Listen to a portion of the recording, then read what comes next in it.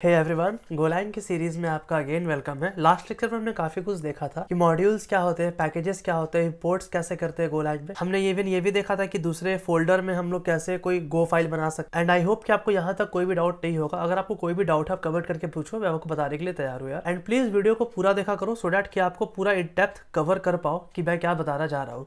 आज हम लोग देखेंगे वेरिएबल के ऊपर कि एक्चुअली पे गोलाइन में वेरिएबल्स क्या होते हैं। अब देखो, अगर आपको वेरिएबल्स एकदम ही नहीं पता कि वेरिएबल्स क्या होते हैं, भैया तो वेरिएबल्स कुछ नहीं यार सिंपल सिंपल अगर हमारे पास कोई डेटा है, उस डेटा को अगर हमें कहीं स्टोर करना है तो उसके लिए हम लोग को एक जगह चाहिए होगा। उस जगह को हम लोग वेरिएबल्स कहते हैं, ठीक है? अब देखो, जैसा कि हम लोग जानते हैं डेटा भी बहुत तरह का होता है। मैं ये मान के चल रहा हूँ कि जितने भी लोग देख रहे हैं, उनको आइधर बेसिक सी या सी प्लस प्ले जावा या पाइथन किसी भी लैंग्वेज पर पहले ऑलरेडी काम कर चुके होंगे। तो जो डेटा होता है जनरली हमारे पास इंटीजर होता है, या फिर स्ट्रिंग होता है बुलियन होता है, या फिर डेसिमल नंबर होता है, हर तरह का डेटा हम लोग देखेंगे यार। अगर मैं आपको बात करूँ कि वेरिएबल्स एक्चुअली बनाते कैसे? सबसे पहले ये हमारा पुराना कोड है माई यूटिल फोल्डर उसको एडिटिस रहने देते हैं, ठीक है? गो डॉट मॉड क्यों बना था, ये भी हमने देखा था। मेन फ़ंक्शन में हम लोग काम करेंगे, ये हमने बाहर से एक पैकेज इंस्टॉल किया था इसके लिए, ठीक है? अब देखो गो लैंग्वेज में इतना अच्छा इसका कंपाइलर है ना, इतना अच्छा तरह से ये वर्क करता है। जैसे कि माई यूटिल जो हमने यहाँ पे इंपोर्ट कर रखा है तो हमने इसे यूज़ भी किया। लेट सपोज़ अगर हम इस लाइन को हटा देते हैं, ठीक है? जैसे हम इसको हटाते हैं और इस फ़ाइल को जैसे ही सेव करेंगे, ठीक है? तो ये जो इम्पोर्टेड पैकेज है, देखो, वो ऑटोमेटिक हट जाएगा। मैं कमांड प्लस सेव दबा रहा हूँ। सेव किया ऑटोमेटिक ये हट गया। मतलब कि फ़ाइल अपने आप में इटसेल्फ चेक करते रहता है कि कौन सा पैकेज का नीड है, उस पैकेज को इंपोर्ट करने का ज़रूरत है भी कि नहीं है। नहीं है तो हटा दिया, ठीक है? मैं इस लाइन को भी यहाँ पे हटा देता हूँ। अगर अब मैं सिंपल सिंपल आपको यहाँ पे कब सेव किया एंड रन करके दिखाऊँ go run main dot go ठीक है? तो ये आपको यहाँ पे रन हो गया। अब मेरा नेक्स्ट टारगेट क्या है? मैं यहाँ पे इसे नीचे कर देता हल्का सा। अब मेरा नेक्स्ट टारगेट क्या है कि मैं वेरिएबल्स बनाऊँ, ठीक है? तो वेरिएबल बनाने का तरीका क्या होता है? हम वेर कीवर्ड लिखते हैं लेट सपोज़ मुझे बनाना है नेम ठीक है? नेम हमारा एक वेरिएबल है जहाँ में नेम स्टोर करेंगे। अब मेरा फर्जी, हम यहाँ पे स्ट्रिंग दे सकते हैं डेटा टाइप और यहाँ पे लिख दिए प्रिंस अब जैसे मैंने यहाँ पे प्रिंस लिखा, ठीक है? अब मुझे यहाँ इसको करना है प्रिंट तो फर्म डॉट प्रिंट एलन अब यहाँ पे एक समझो, अगर मैं यहाँ पे प्रिंट नहीं करता हूँ, ठीक है? यहाँ पे नेम के नीचे आपको एक रेड लाइन दिखा रहा है। इसका क्या मतलब है? कि name declared but not use मतलब कि हम इसे डिक्लेयर तो किए बट यूज़ नहीं किए। एक काम करते इसको यूज़ कर लेते हैं, इसको प्रिंट कर लेते हैं। तो प्रिंट एलन ठीक है? एंड सिंपल सिंपल कर दिए प्रिंट नेम डाट सेट अब मैंने यहाँ पे लास्ट में सेमी कॉलन डाल दिया। क्या इसका नीड है? अब अगेन यहाँ पे कंपाइलर बहुत स्मार्ट है। हमने सेमी कॉलर लेट सपोज़ यहाँ पे भी डाल दिया, ठीक है? लेकिन जैसे ही इस फ़ाइल को हम लोग सेव करेंगे, ये सेमी कॉलर ऑटोमेटिक हटा देगा। देखना मैं कमांड प्लस सेव इंटर कर रहा हूँ। इंटर सेव किया सेमी कॉलर ऑटोमेटिक खुद पे खुद रिमूव कर दिया। मतलब कि कंपाइलर अपने आप में काफ़ी इनफ स्मार्ट है। वो देख लेता है कि अगर सेमी कॉलर का नीड है तो रखो, नहीं नीड है तो रिमूव अगर अब मैं इसको रन करता हूँ तो यहाँ पे प्रिंस मेरा नाम प्रिंट होगा। या प्रिंस प्रिंट हुआ। सेम इसी तरह, अगर आपको मन किया कि आपको स्ट्रिंग नहीं रखना राइट जैसे कि मेरा मन है कि मैंने लिखा वैर एंड वर्जन ठीक है? वर्जन और फिर मैंने डायरेक्टली लिख दिया one point zero that's it ठीक है? मैंने फिर सेमी कलर लगा दिया, क्योंकि मैं C plus plus JavaScript सब में मेरा आदत हो रखा है सेमी कलर लगाने का। आपकी मर्ज़ी, अगर आप लगाते हो, फिर ठीक है, नहीं लगाते तो फिर भी ठीक है। एनी हाउ कंपाइलर उस चीज़ को डिलीट करने वाला है, ठीक है? वर्जन मैंने लिखा, अब मुझे वर्जन प्रिंट कराना है, ठीक है? तो इस बार बोलोगे, भैया, आपने तो यहाँ पे स्ट्रिंग नहीं लिखा। देखो, यहाँ पे स्ट्रिंग क्या है ना, अगर मैंने यहाँ पे नेम के आगे ऑलरेडी स्ट्रिंग ऐड कर दिया, इसका मतलब कि क्या? कि ये जो नेम नाम का वेरिएबल है, जो डब्बा हमने बनाया, उस वेरिएबल में जो डेटा स्टोर होने वाला है, वो पक्का हो गया कि स्ट्रिंग तरह का ही होगा। लेकिन वर्जन केस में क्या हुआ? वजह ने मैंने वर्जन केस में डायरेक्टली लिखा var version is equal to one point zero फिर मैंने लिख देता हूँ वर्जन लेटेस्ट ठीक है? मैंने यहाँ पे एक स्ट्रिंग डेटा था स्ट्रिंग डेटा स्टोर किया। तो कंपाइल टाइम पे वर्जन वेरिएबल ये समझ जाएगा कि मेरे अंदर जो डेटा स्टोर हुआ है, वो स्ट्रिंग तरह का हुआ है। गो का कंपाइलर लिटरली काफ़ी स्मार्ट है। हमें बहुत कुछ डिटेल देने की ज़रूरत नहीं है। मतलब इस केस में तो हमने स्पेसिफिक ही कर दिया कि जो भी डेटा तुम्हारे पास जाएगा, वो स्ट्रिंग ही होगा, ठीक है? अब मैंने यहाँ पे प्रिंट किया वर्जन तो लेट सपोज़ मैंने इसको रन किया तो इसी यहाँ पे वर्जन लेटेस्ट प्रिंट हो गया। लेट सपोज़ अगर हम यहाँ पे नेम की जगह स्ट्रिंग दे दिया, ठीक है? अगर लेट सपोज़ हम यहाँ पे एटी दे देते तो क्या एरर ये काम करता है? नहीं, यहाँ पे एरर आ गया। एरर क्यों आया? Can't can not use eighty nine untyped int constant as a string value in variable declaration मतलब कि हमने डिक्लेयर करते वक्त ये जो नाम, ये जो नेम हमने डिक्लेयर किया है, उसके वक्त हमने बता दिया कि वो स्ट्रिंग तरह का डेटा स्टोर करेगा, फिर भी हम लोग जानबूझकर 89 स्टोर करने का चाह रहे हैं, जो कि 89 एक तरह का इंटीग्रल डेटा है। इसलिए ये एरर है। लेकिन ये अगर स्ट्रिंग होता तो ये परफेक्टली वर्क करता। लेकिन इस केस पे हमें इशू नहीं होगा। क्यों? क्योंकि ये कंपाइल टाइम पे ही डिसाइड करेगा कि वर्जन एक्चुअली में क्या है। ठीक है? तो मैंने यहाँ पे रिटर्न किया इंटर ठीक है? तो 76 प्रिंट हो गया। आई होप यहाँ तक कोई दिक्कत नहीं होगा। लेट सपोज़ अब मुझे मन कर रहा है कि इंटीग्रल डेटा रखने का तो सिंपल से मैंने रख दिया लेट सपोज़ मुझे चाहिए money in my bank account ठीक है? मैंने यहाँ पे दे दिया इंटीजर इंट बेसिकली इंट ठीक है? तो int is equal to let suppose मेरे में सिक्सटी सेवन थाउज़ेंड रुपीज़ है, ठीक है? अगर अब मैं इसको प्रिंट करना चाहूँ तो प्रिंट प्रिंट टैलेंट मनी अब मैं इसको अगर यहाँ पे सेव करूँ कमांड प्लस सेव एंड मैं यहाँ पे रन करूँ तो see sixty seven thousand print हो गया। क्या यह पे इंट लिखना ज़रूरी है? नहीं नहीं, ज़रूरी नहीं है। हम चाहे तो लिख सकते हैं वेरिएबल मनी या फिर करेंसी लिख दो, ठीक है? करेंसी एंड डेट्स इट और मैंने डाल दिया यहाँ पे लेट सपोज़ कुछ भी रैंडम नंबर डाल दिया, ठीक है? लेट सपोज़ अगर हम लोग करेंसी को प्रिंट करें तो फर्म डॉट प्रिंट एलन ठीक है? एंड मैंने लिख दिया कि currency is sorry currency is nothing and okay column से बाहर आ गए करेंसी डेट्स इट अगर अब मैं इसको यहाँ पे रन करूँ तो आपको सिंपल सिंपल दिख जाएगा।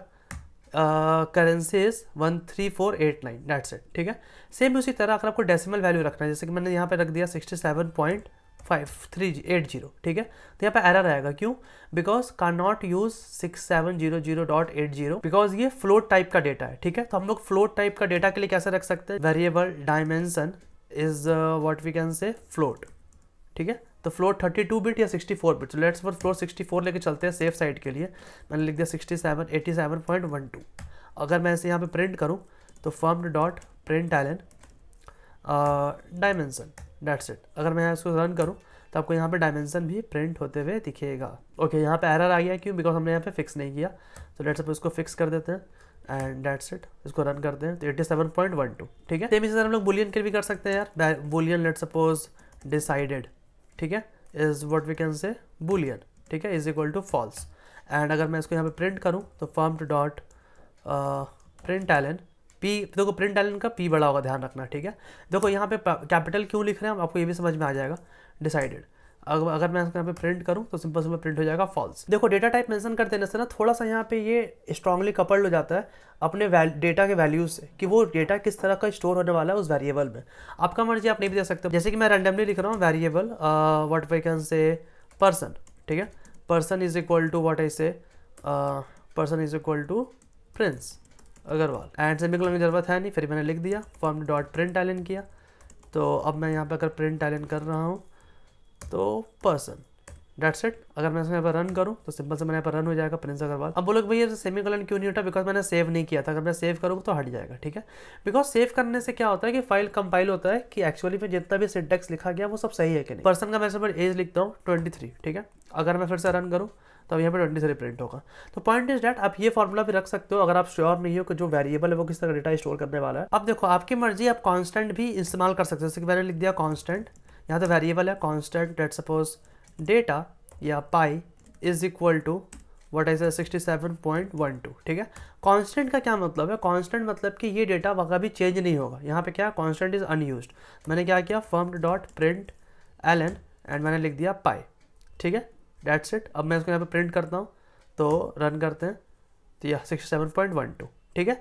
ये कांस्टेंट अगर आप लेट्स पे चाहोगे बाद में पाई का वैल्यू चेंज करने लेट्स मतलब चेंज करना चाह रहे हो फोर्टी फाइव करना चाह रहे हो तो एरर आएगा। अगर पे होवर करो तो आपको एरर क्या आएगा? Can not assign to pi मतलब कि पाई में वैल्यू असाइन नहीं कर सकते। क्यों नहीं कर सकते? क्योंकि ये जो वेरिएबल है, वो कॉन्स्टेंट तरह का कॉन्स्टेंट एक बार डिक्लेयर कर दिया तो कर दिया, ठीक है? लेकिन इस केस में लोग चेंज कर सकते हैं। जैसे कि मैंने यहाँ क्या किया डिसाइडेड इज़ इक्वल टू कर दिया ट्रू तो यहाँ पे कोई भी इशू नहीं है। अब देखो डिसाइडेड यहाँ पे एज अ ट्रू प्रिंट होगा।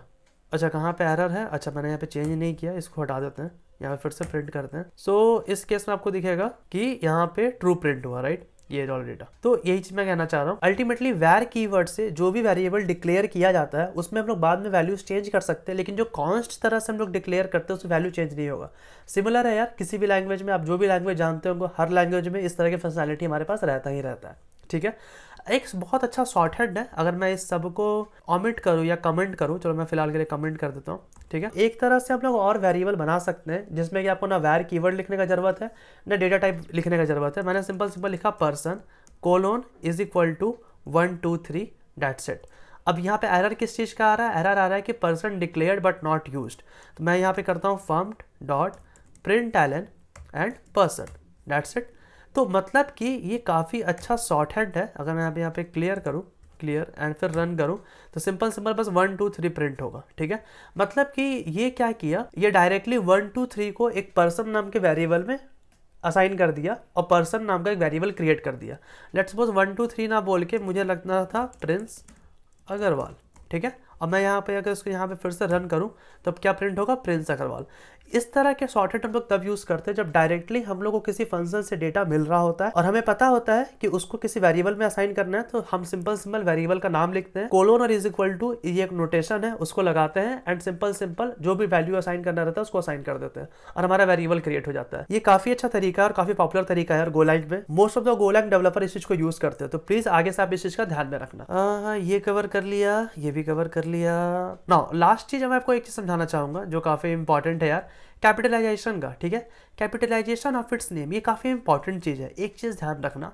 अगेन मैं कह रहा हूँ ना, अभी हम लोग बेसिक्स बेसिक्स बिल्डिंग ब्लॉक खेल रहे हैं और सब कुछ बहुत अच्छे समझ में आएगा। आप सोचो कि बहुत रश में हम लोग आगे बढ़े, ऐसा नहीं करेंगे, ठीक है? इससे मैंने क्या वेरिएबल बनाया पब्लिक ठीक है? तो पब्लिक वेरिएबल मैंने बनाया और यहाँ पे लेट सपोज़ मैंने डाल दिया यहाँ पे डेटा इज़ इंपॉर्टेंट ठीक है? मैंने यहाँ पे लिखा डेटा इज़ इंपॉर्टेंट ठीक है? मैंने वेरिएबल बनाया प्राइवेट प्राइवेट में वेरिएबल क्या बनाया? डेटा इज़ प्राइवेट मैंने यहाँ पे ये चीज़ बनाया, ठीक है? अब एक चीज़ यहाँ पे आप एक चीज़ समझो कि अगर आपको कोई भी वेरिएबल कोई भी चीज़ अगर आपको दूसरे फ़ाइल में डायरेक्टली यूज़ करना है या एक्सपोर्ट करना है तो आपको उसका नाम कैपिटल से लिखना पड़ेगा पी कैपिटल होगा, ये ध्यान रखना आप। अब मैंने क्या किया? फर्म्ड डॉट प्रिंट एलन ठीक है?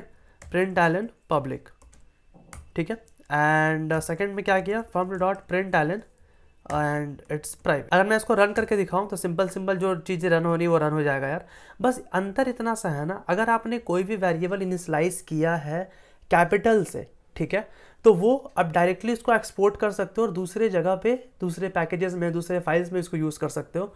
लेकिन अगर आपने कोई भी वेरिएबल इनिशलाइज किया स्मॉल लेटर से स्मॉल तो आप उस वेरिएबल को बस उसी फ़ाइल के अंदर एक्सेस कर सकते हो, बाहर में एक्सेस नहीं कर सकते हो। बस यही सेम चीज़ मैंने लिखा है अगर मैंने पब्लिक वेरिएबल बनाया है पब्लिक वेरिएबल मतलब कि हम लोग चाह रहे हैं कि उसको बाहर से एक्सेस करें तो उसका जो नाम है वेरिएबल का वो कैपिटल में रखना पड़ेगा और वो विजिबल होगा और बाहर के पैकेजेस से भी हम लोग एक्सेस कर सकते हैं। लेकिन अगर हमने प्राइवेट वेरिएबल बनाया है, हम चाह रहे हैं कि बस विद इन सेम पैकेज के अंदर बस हम उसको यूज़ करें तो आपको उसका नाम स्मॉलर रखना पड़ेगा. डेट्स फाइन ये काफ़ी इंपॉर्टेंट टिप्स था यार. आपको हो सकता है थोड़ा भी हल्के में लगे कि क्या यार कैपिटल और स्मॉल से इतना फ़र्क पड़ जाएगा. This is the way Go language is working same cheese function के लिए भी एप्लीकेबल होती है। देखो मैंने पब्लिक फ़ंक्शन बनाया है मतलब कि और इसका मैंने फ़ंक्शन का नाम पी कैपिटल रखा है। मैंने यहाँ पे दूसरा फ़ंक्शन बनाया है प्राइवेट फ़ंक्शन जिसका मैंने नेम रखा है उसका स्टार्टिंग में स्मॉल रखा है। देखो फ़र्क वर्किंग में कुछ भी नहीं पड़ेगा। बस बात इतना सा है कि आप इस फ़ंक्शन को बाहर किसी दूसरे पैकेज से भी, भी यूज़ कर सकते हो इस फ़ंक्शन को आप एक्सपोर्ट कर सकते हो। ये फ़ंक्शन बस एक सिंगल पैकेज के अंदर यूज़ होगा डेट सेट बस अंतर इतना सा है। और ये काफ़ी अच्छा तरीका है पता लगाने का कि हम लोग किसी पैकेज में जो फ़ंक्शन बनाए हैं कौन से फ़ंक्शन को बाहर एक्सपोर्ट करना चाह रहे हैं और किस फ़ंक्शन को नहीं करना चाह रहे थोड़ी देर पहले मैंने बताया था कि प्रिंट एलन में, जो हम यहाँ पे प्रिंट एलन लिखते हैं, उसका पी कैपिटल क्यों है। बिकॉज़ प्रिंट एलन एक फ़ंक्शन है, जो कहीं ना कहीं किसी फम्प्ड पैकेज में लिखा हुआ है राइट तो इस फ़ंक्शन को हम दूसरे पैकेजेस में यूज़ करना चाह रहे हैं। अभी हम किस पैकेज में? मेन पैकेज में, ठीक है?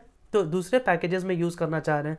या हो सकता है हम माई यूटिल के अंदर यूज़ करना चाह रहे हैं, ठीक है? फर्म डॉट प्रिंट टैलेंट तो ये प्रिंट टैलेंट जो फर्म पैकेज का पार्ट है हम चाह रहे थे कि प्रिंट टैलेंट को दूसरे दूसरे पैकेजेस में हम लोग यूज़ करें। That's why the developer of Golang has made the println जिसमें कि जो पी है, वो कैपिटल है, ताकि उसको दूसरे दूसरे पैकेजेस में लोग यूज़ कर सकें।